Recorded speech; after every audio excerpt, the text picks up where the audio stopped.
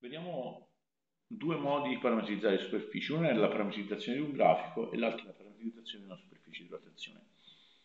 Entrambi i modi, diciamo, cioè la, la somma di questi modi copre un po' tutte le possibili, quasi tutti i possibili tipi di superficie che incontrerete.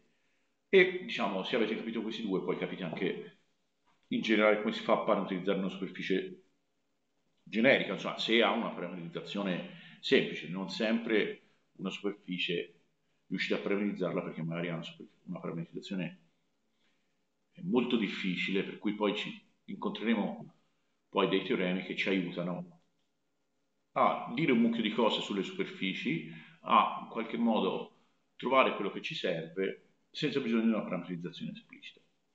Vediamo come si parametrizza intanto il grafico. Il grafico è forse l'esempio più semplice.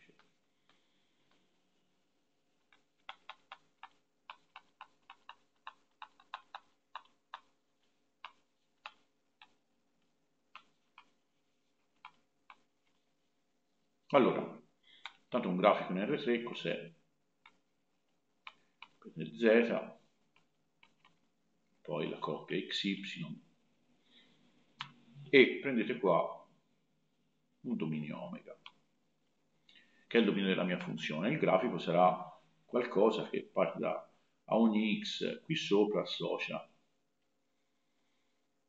facciamo più, facciamo concavo che più simile ai grafici che si trovano di solito, ma tanto così. Questa superficie è z uguale a f di xy, dove f è una funzione che va da omega in r. Questo, se lo guardate bene, è praticamente già parametrizzato, perché una variabile, la terza, dipende dalle altre due, quindi se usate queste due come parametri avete già la parametrizzazione.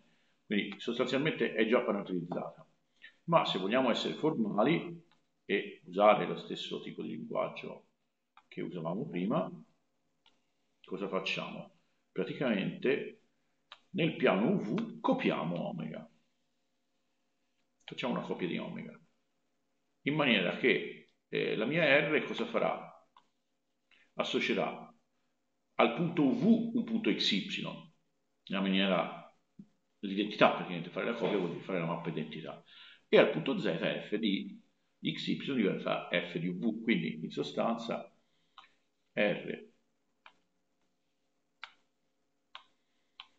di uv diventerà x uguale a u, y uguale a v e z uguale a f di uv.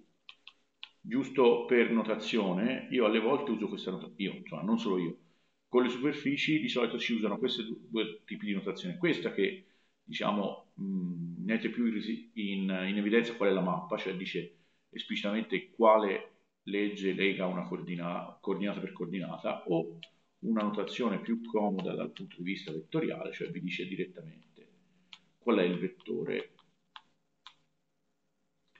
eh, risultante. Ok, io userò indifferentemente tutte e due e molto spesso passerò da una all'altra durante lo stesso esercizio, durante la stessa lezione.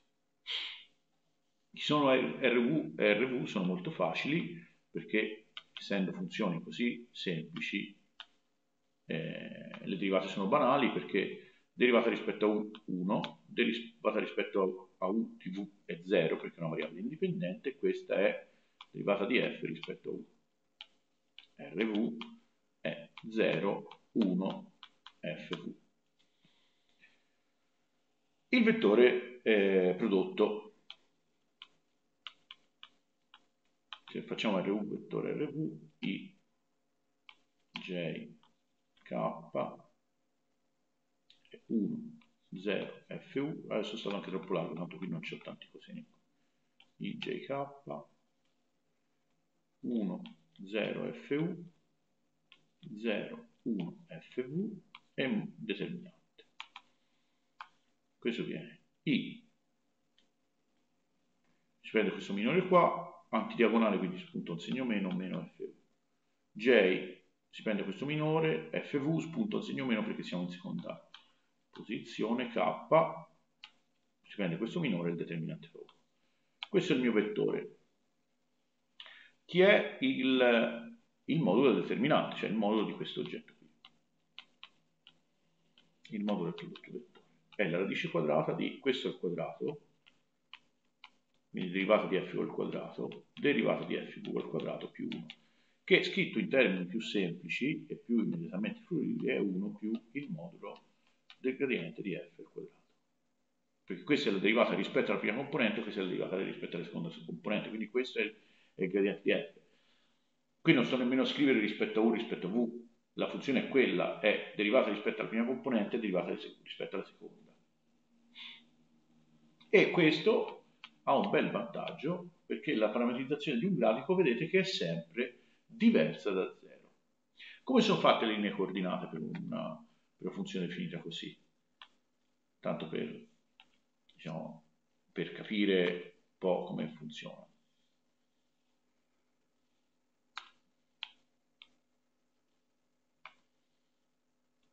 Quindi ricopio un po' il disegnino di prima, lo rifaccio così non lo sporco. Facciamo un po' più arcuata, così si capisce meglio. Poteva essere più arcuato ma anche più preciso. Ok, questo è il mio grafichetto. Allora, come sono fatte le linee coordinate? Beh, mi muovo in direzione, questo è U, questo è U, mi muovo in direzione U, vuol dire che mi muovo in orizzontale mi muovo in direzione V e mi muovo in verticale. Quindi questa è la quadrettatura. Questo qui viene praticamente sollevato qua sopra perché questa linea qui me la riscrivo, mi muovo in orizzontale, quindi vedo, cioè trovo quel percorso che mi, eh, diciamo, riproiettato farebbe questa ombra qua, quindi sarà qualcosa del genere. Questa cosa qui verrà così, eccetera, eccetera. L'altra rimane dietro, diciamo che rimane dietro che cosa non la faccio. Queste linee orizzontali sono, le sollevo ugualmente, quindi diventano linee che vanno così e poi finiscono dietro. Questa va così, è molto più dritta, va così e poi finisce dietro.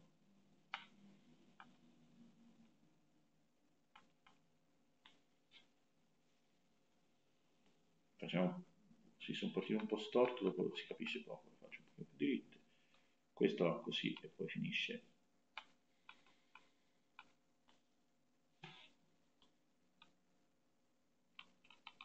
Finisce dietro, questo va così e poi finisce dietro, questo va così e poi finisce dietro. Quindi praticamente state proprio prendendo questa griglia e la trasportate su e la appiccicate per benino alla, alla cosa. Oppure eh, diciamo, un'altra per capirlo, immaginate di, che questo qui sia, sia, fatto di fili di ferro, voi costruite questa griglia qui di fili di ferro, poi se la guardate dall'alto in realtà vedete che è la quadrettatura che avete già sul piano.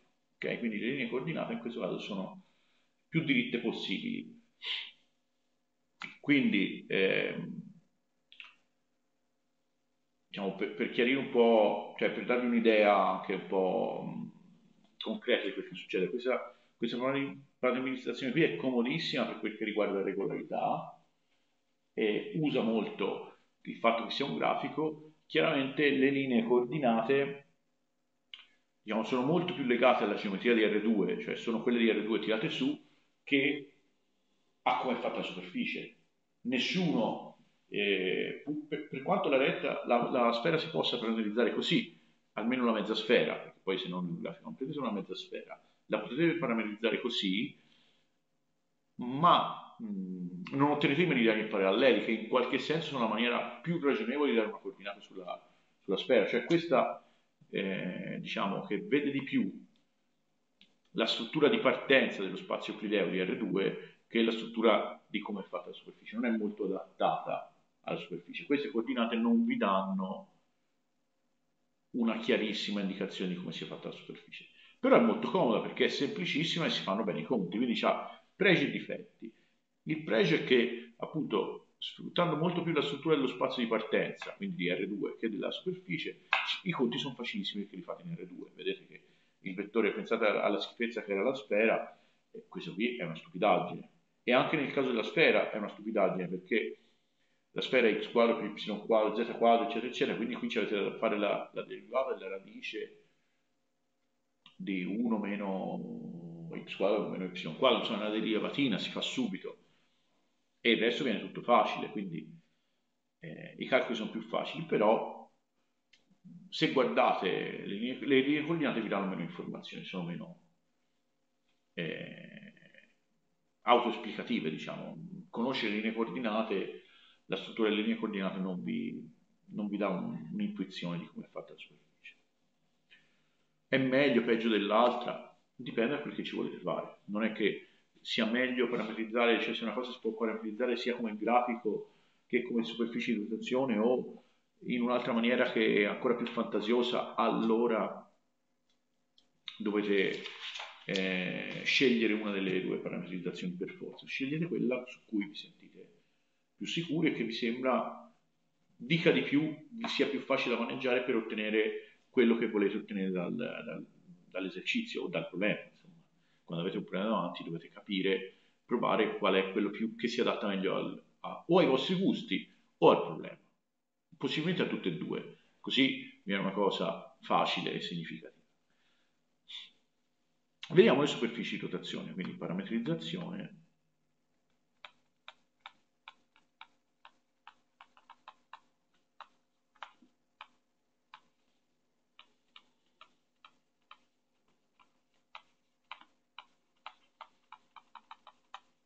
come è fatta una superficie di rotazione.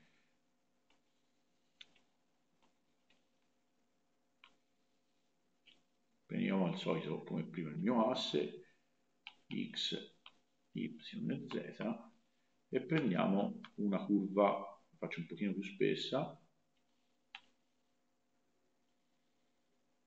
prendiamo fatta così,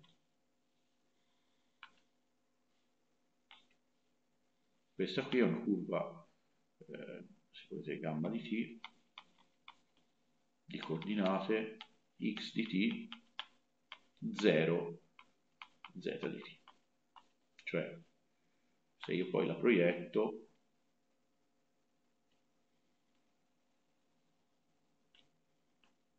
questo è x di t questo è z di t dopodiché cosa faccio? la faccio ruotare intorno all'asse z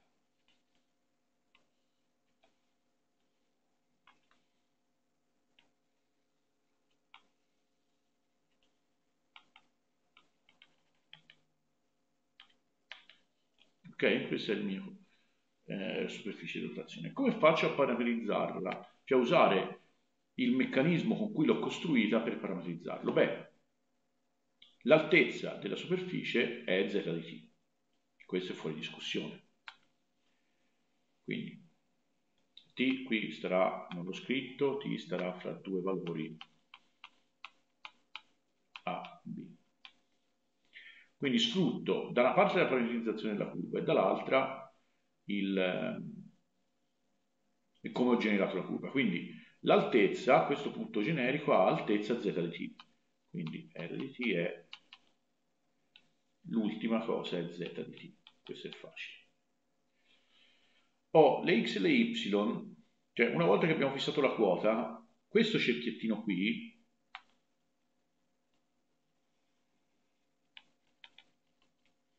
è un cerchio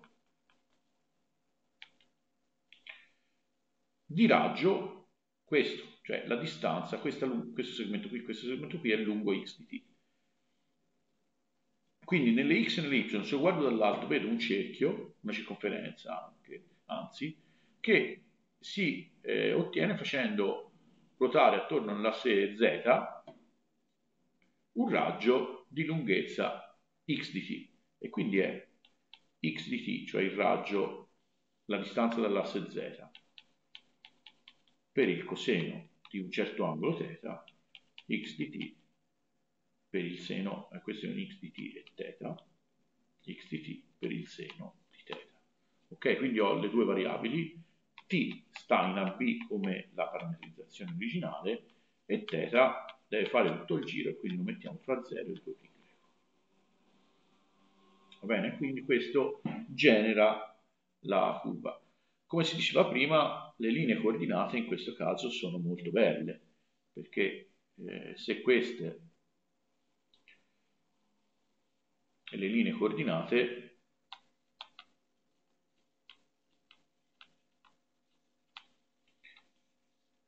questo è il vostro oggetto, un po' più lungo devo fare,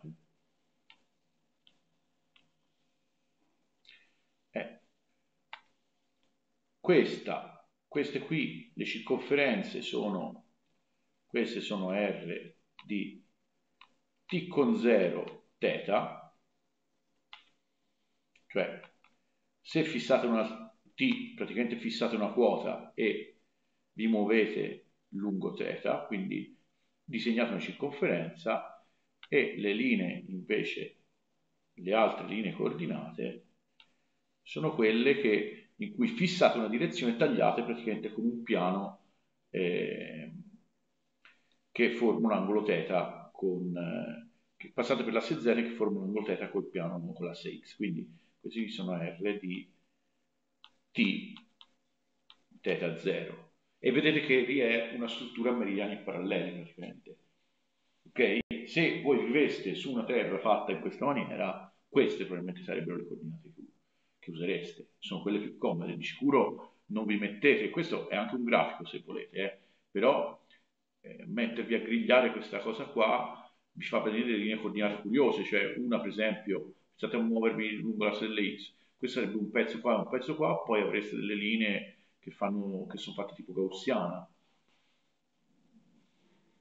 È meno, è meno adattata alla struttura della, della cosa, cioè non vi accorgete che c'è una simmetria, non sfruttate una simmetria, sfruttate solo che sia fatta con un grafico.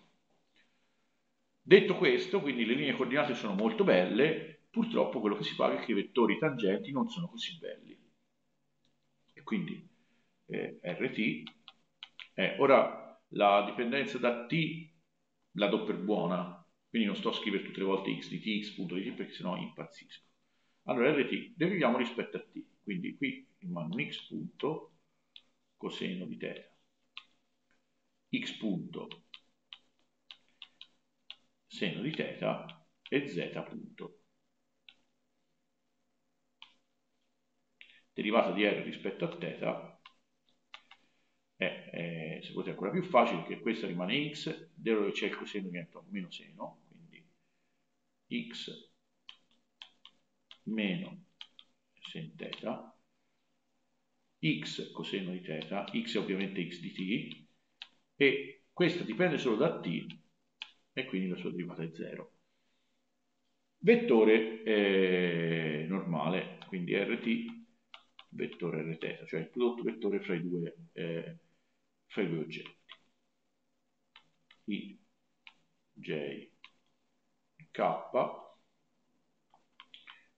x cos θ, x punto cos θ, x punto sen θ, z punto, cioè ricopio questo vettore qui, meno x sen θ, x cos θ, 0, e facciamo il determinante. Questo lo ammazziamo e viene eh, z punto x, quindi x z punto cos θ con un segno meno perché sono sull'antidiagonale. Poi j, questo è 0, viene. Intanto scriviamo, poi guardiamo il segno. X z punto sen θ il segno è ho un meno qui perché sono in seconda posizione, un meno qui che sono, sono sull'antidiagonale un meno qua. E quindi di nuovo meno, k, questo viene xx punto per cos quadro più, perché qui sono sull'antidiagonale, xx punto sen quadro, quindi viene x, x punto e fine. Ho un modulo del vettore eh, R vettore per θ. Vettore R θ. È x punto, eh, x quadro z punto quadro per cos quadro più x quadro z punto quadro per sec quadro più x quadro x punto quadro sotto radice e quindi viene modulo di x radice di x quadro punto più z punto quadro. Questo è diverso da 0 se e solo se modulo di x diverso da 0. Perché? Perché questo è il vettore tangente, questo se volete è modulo di gamma punto. E questo è diverso da 0 perché la curva la prendete regolare. Ovviamente se partite da una curva non regolare e ottenete una cosa eh, non, non, eh, non regolare. x punto diverso da 0 vuol dire che per avere una cosa regolare voi non volete che questa cosa qui attraverso tocchi l'asse 0. Ovviamente dovete prendere, chiaro che io non, non voglio prendere una cosa, cioè x di t deve essere per forza maggiore o uguale di 0 perché se faccio una cosa così poi diventa una cosa complicata quindi di solito si può fare però viene diciamo io voglio eh,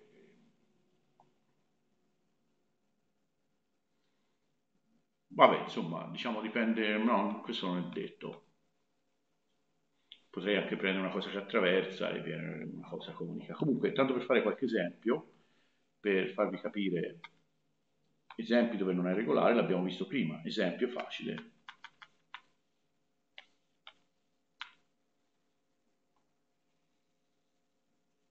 La sfera.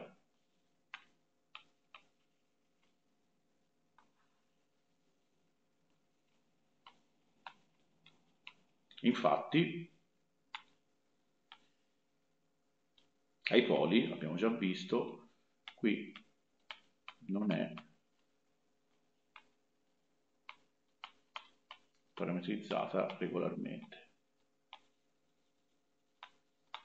Mentre la sfera, la potete, mezza sfera potete parametrizzare regolarmente come grafico, oppure, altro esempio facilissimo, qui c'è un terzo asse, mi sono scordato ma ci siamo capiti, eh, altro esempio facilissimo, il cono. Partite da una retta, anche meno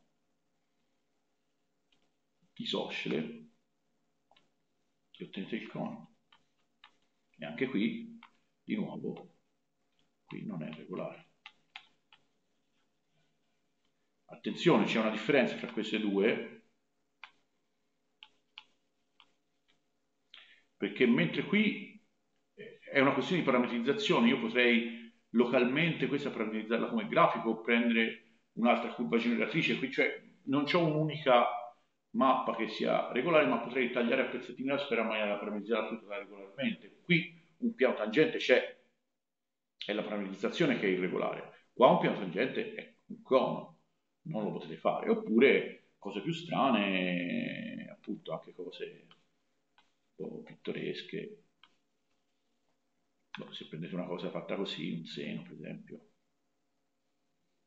ottenere una cosa strana che si interseca molte volte avrà tutti i punti qui dove non è regolare. Una cosa che sembra un po' un rotolo di salsicce insomma. Tanto per usare un'immagine molto poetica. Eh, però qui non è regolare e ancora una volta qui è veramente non regolare perché la superficie addirittura cessa di essere una superficie, quel punto lì è un punto, c'è proprio una strozzatura, quindi lì non ha piani tangenti. Ok, tanto per fare qualche disegnino e qualche esempio. Oh. Allora, vediamo l'esempio che abbiamo detto prima. Eh,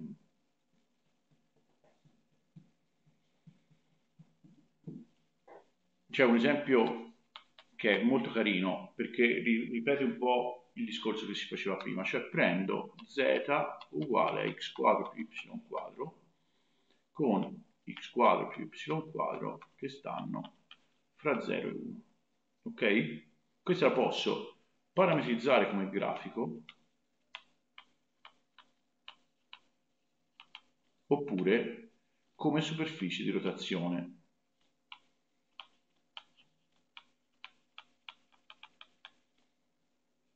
Allora, come grafico è facile, quindi 1 come grafico, 2 come superficie di rotazione. 1 come grafico è banale, perché eh, quindi devo prendere eh, U e V che appartengono a eh, x u, a un cerchio,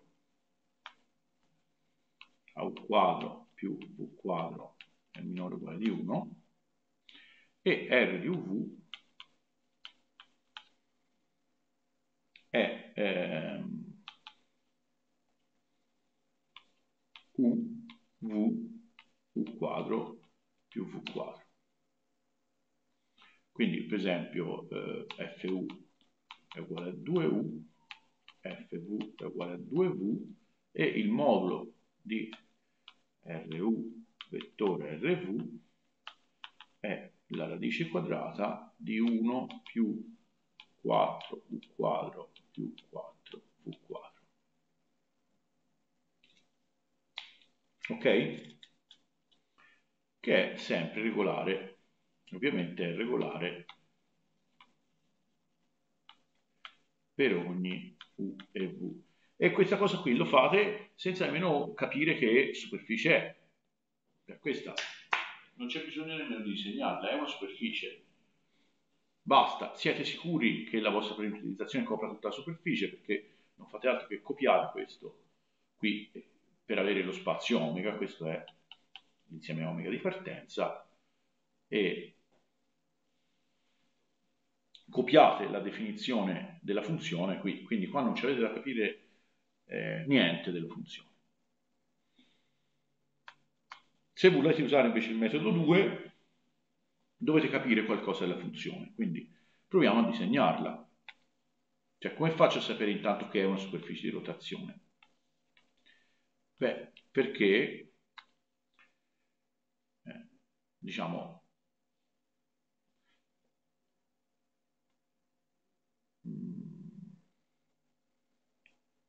z uguale x quadro più y quadro dipende,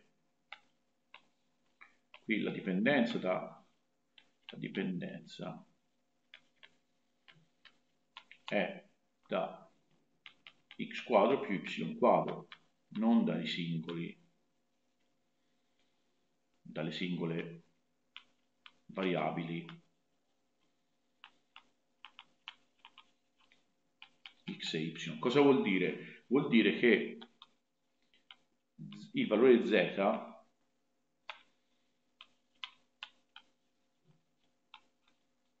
è costante sulle circonferenze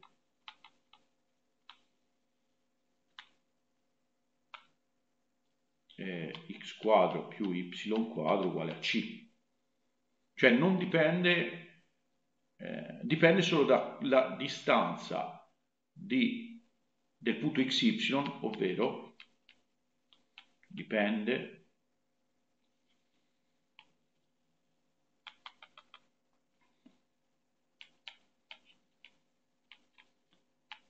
solo dalla distanza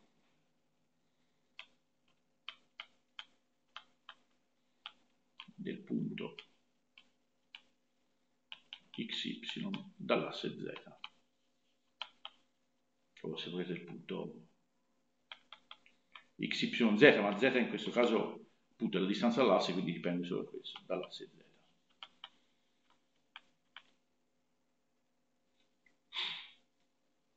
Ok? Quindi cosa vuol dire? Come se voi dite, questa è, se volete, di, quindi vuol dire che è generata dalla curva z uguale x quadro. Cioè se voi disegnate questa parabola, questa è z uguale x quadro, questa è la curva generatrice.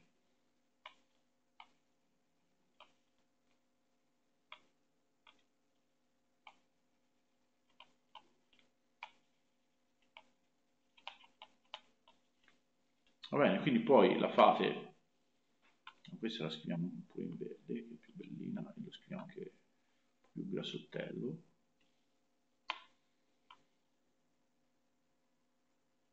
Quindi questa qui è la curva generatrice, un pezzettino di parabola che poi voi fate girare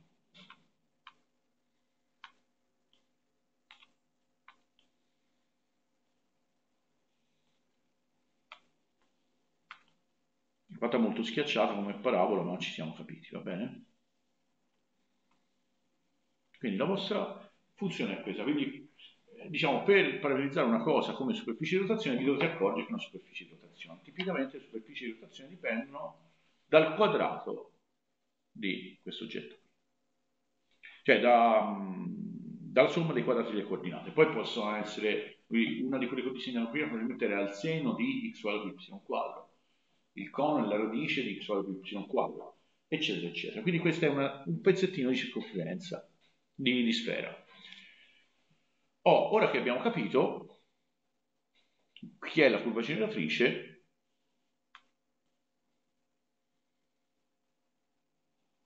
questa qui se volete quindi la curva è eh, un'altra maniera di scriverla è gamma di t z essere uguale a t quadro quindi t 0 t quadro cioè parametrizzo questa questa è la forma parametrica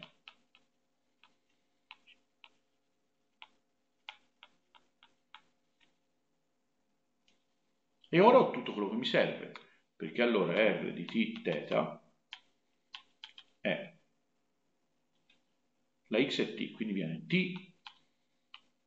cos θ, t sen θ, t quadro. t sta fra 0 e 1 e θ sta fra 0 e 2π greco. Sono sicuro di aver parametrizzato la cosa, osservazione,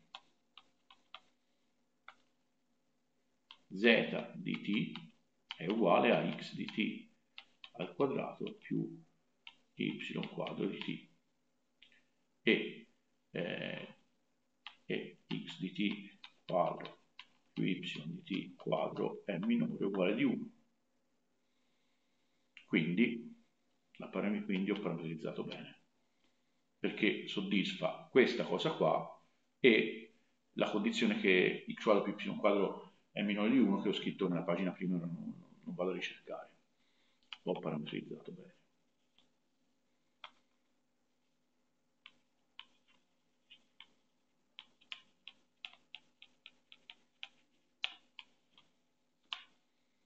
oh, è regolare?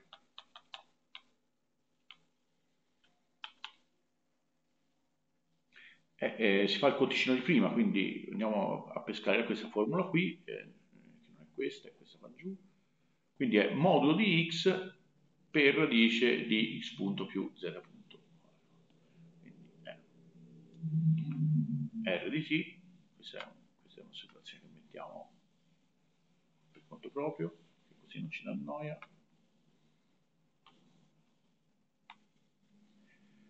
Allora, mm, modulo di rt vettore r abbiamo detto è modulo di x di t per la radice di x di sì, per, le, per la radice di x punto quadro più z punto quadro. Questo è uguale a x di t è t,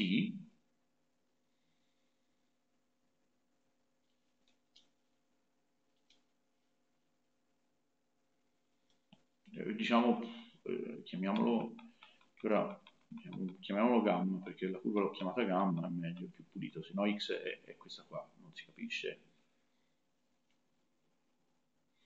Questo è z di θ, se no faccio confusione fra le variabili.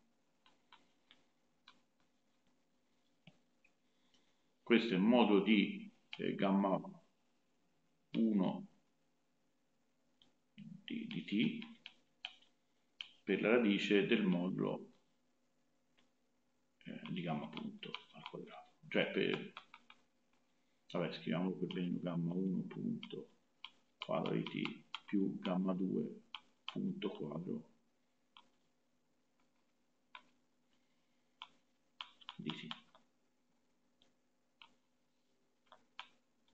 Cioè questo è uguale a gamma 1 punto è t, quindi t, t sta fra 0 e 1 quindi è sempre positivo, per la radice di gamma 1 punto al quadrato, cioè 1, più, questo è t quadro, quindi 2t al quadrato, 1 più 4t quadro, che è maggiore di 0 se e solo se t è diverso da 0. Quindi in questa parametrizzazione questo qui eh, la parametrizzazione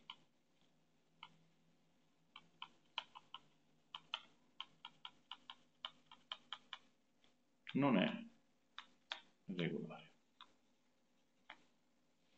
D'altra parte lo sapevamo, la sfera parametrizzata per, eh, per rotazione non è regolare in, eh, ai poli. Qui è mezza sfera, c'è solo il polo sud.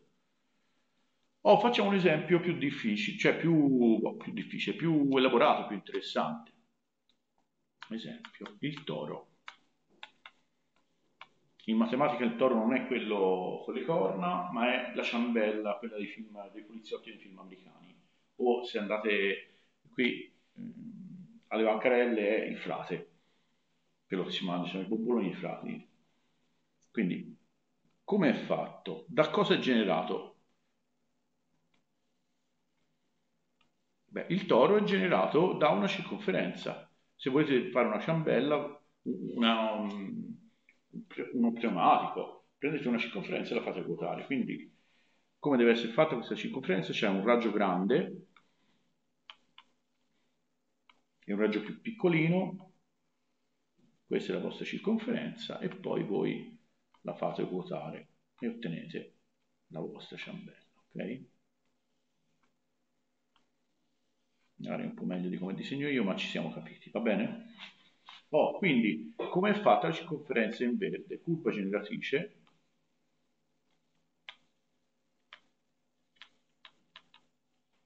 gamma di t è allora x di t questo qui è questo punto qui a coordinate r piccolo di t cos θ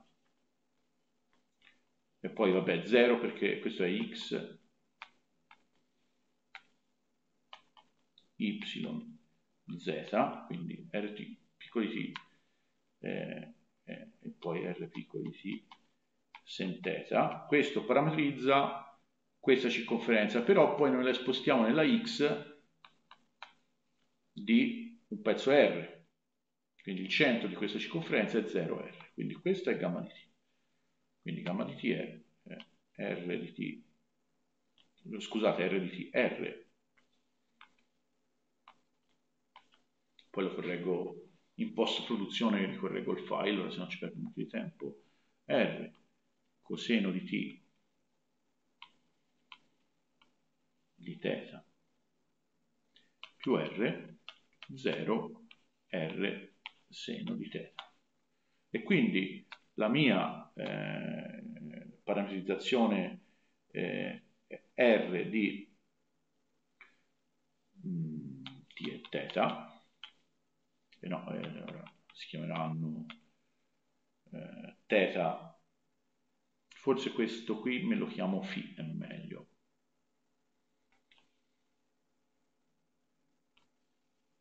Questo angolo lo chiamo Φ. Perché lo chiamo Φ?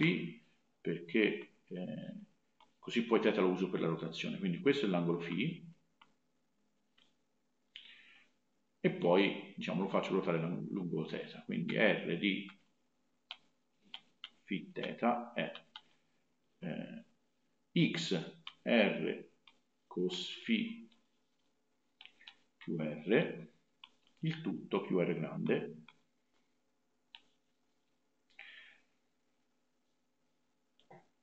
eh, il tutto per coseno di θ. Poi y la stessa cosa per il seno di θ, z è, invece si ricopia la parametrizzazione. Dove variano gli angoli? Beh, sia φ che θ stanno in 0, 2 pi greco, perché faccio girare una circonferenza, quindi faccio tutto il giro e poi rifaccio tutto il giro. Oh, è regolare? Beh, a questo punto sì, perché il modulo di rφ vettore r θ è il modulo di questa cosa qua è r cos φ più r grande